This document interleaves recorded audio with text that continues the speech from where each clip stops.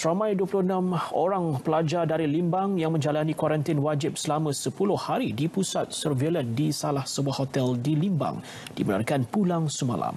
Kesemua pelajar dibenarkan pulang ke rumah masing-masing setelah ujian saringan COVID-19 Sabtu lepas menunjukkan keputusan negatif COVID-19.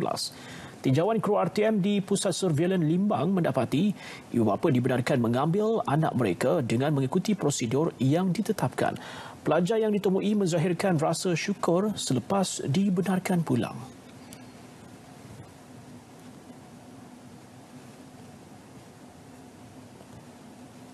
Uh, saya amat bersyukur kerana boleh keluar dan kuarantin di rumah selepas ini dan saya ucapkan ribuan terima kasih kepada semua pihak yang menguruskan kepulangan saya. Okay, saya berasa sangat bersyukur kerana saya dapat um, result yang negatif untuk tes COVID. Jadi saya, saya dapat balik hari ini. Eh, saya dapat balik dengan gembira. Uh, saya berasa gembira kerana dapat berjumpa dengan keluarga lah. Dan saya berterima kasih kepada semua pihak yang telah bekerjasama membantu, uh, me, me, menjalankan urusan ini lah.